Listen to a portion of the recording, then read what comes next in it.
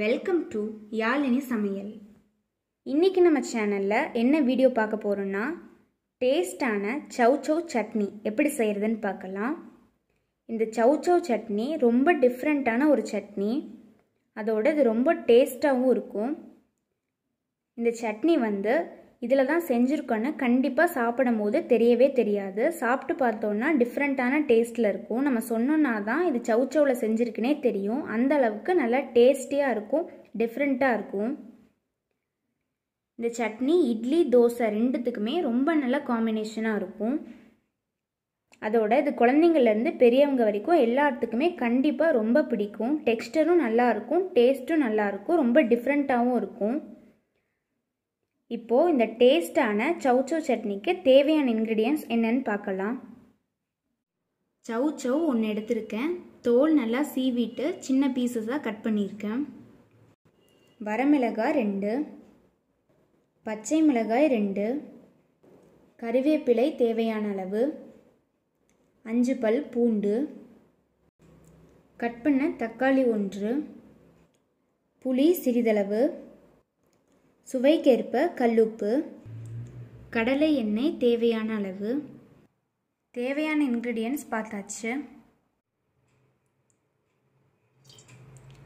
ஒரு பேனில் ரெண்டு ஸ்பூன் ஆயில் ஆட் பண்ணியிருக்கேன் ஆயில் நல்லா ஹீட் ஆன பிறகு பூண்டு ஆட் பண்ணிக்கலாம். பூண்டு லைட்டாக ஃப்ரை ஆகட்டும்.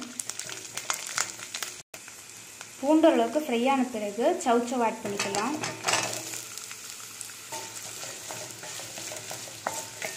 சவு சவு கொஞ்ச நேரம் ஆயிலில் நல்லா ஃப்ரை ஆகட்டும்.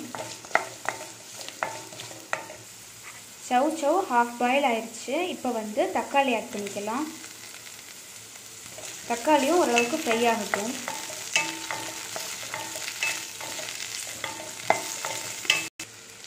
நெக்ஸ்ட்டு பச்சை மிளகாய்.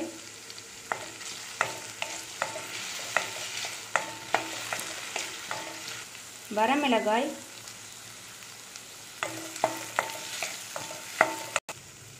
கருவேப்பிலை. இந்த எல்லா இன்க்ரீடியன்ஸும் நல்லா ஃப்ரை ஆகட்டும். நெக்ஸ்ட்டு புளி ஆட் பண்ணிக்கலாம்.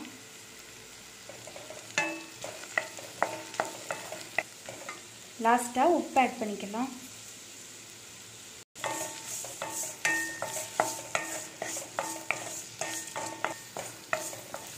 இப்போது எல்லா இன்க்ரீடியன்ஸும் நல்லா ஃப்ரை ஆயிடுச்சு ஆயில் நல்லா பிரிஞ்சு வந்துடுச்சு பாருங்கள் இப்போது ஸ்டவ்வை ஆஃப் பண்ணிடலாம். இது நல்லா ரூம் டெம்பரேச்சருக்கு வரட்டும். இன்க்ரீடியன்ஸ் எல்லாம் ரூம் டெம்பரேச்சருக்கு வந்துருச்சு. இப்போ தான் அரைச்சிடலாம். இப்போது சவ் சவ் சட்னியை அரைச்சாச்சு. நல்லா ஓரளவுக்கு நைஸாக அரைச்சிருக்கேன். இருந்தாலும் அந்த சில்லியெல்லாம் நல்லா தெரிகிற மாதிரி நல்லா டெக்ஸ்டர் இருக்குது பாருங்கள் இப்போது இதை சர்வ் பண்ணிடலாம். டேஸ்டான டிஃப்ரெண்ட்டான சவுச்சவ் சட்னி வீட்டிலையே ஈஸியாக ரெடி ஆயிடுச்சு இந்த சட்னி இட்லி தோசை ரெண்டுத்துக்குமே ரொம்ப நல்ல காம்பினேஷனாக இருக்கும் ரொம்ப டேஸ்ட்டாக இருக்கும். கண்டிப்பாக இந்த சட்னியும் உங்கள் வீட்டில் ட்ரை பண்ணுங்கள் ட்ரை பண்ணி இட்லி இல்லைனா தோசையோடு கொடுங்க. கண்டிப்பாக உங்கள் வீட்டில் இருக்கவங்க எல்லாருமே விரும்பி சாப்பிடுவாங்க. அதோட இந்த சட்னியை கொடுத்தீங்கன்னா இன்னும் ரெண்டு தோசை எக்ஸ்ட்ராவே சாப்பிடுவாங்க. அந்த அளவுக்கு நல்லா டேஸ்ட்டாக இருக்கும்.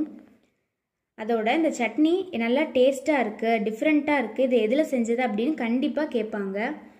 அந்த அளவுக்கு நல்லாயிருக்கும் சூப்பராக இருக்கும். கண்டிப்பாக இதை நீங்கள் உங்கள் வீட்டில் ட்ரை பண்ணி பாருங்கள் இந்த சட்னியை நீங்களும் உங்கள் வீட்டில் ட்ரை பண்ணி பார்த்துட்டு உங்கள் கமெண்ட்ஸ் எனக்கு சொல்லுங்கள் இந்த வீடியோ உங்களுக்கு பிடிச்சிருந்தா தம்ஸ் அப் கொடுங்க ஷேர் பண்ணுங்கள் என்னோடய சேனலை சப்ஸ்கிரைப் பண்ணுங்கள் அதோட அதுக்கு பக்கத்தில் இருக்க பெல் ஐக்கானையும் ப்ரெஸ் பண்ணுங்கள் கீழே டிஸ்கிரிப்ஷனில் கொடுத்துருக்கேன். என்னோடய Instagram page Facebook page and WhatsApp broadcast குரூப்லேயும் கண்டிப்பாக ஜாயின் பண்ணுங்கள் இப்போது ஸ்க்ரீனில் தெரிகிற வீடியோஸை இது வரைக்கும் நீங்கள் பார்க்கலன்னா அதையும் கண்டிப்பாக பாருங்கள் thank you have a nice day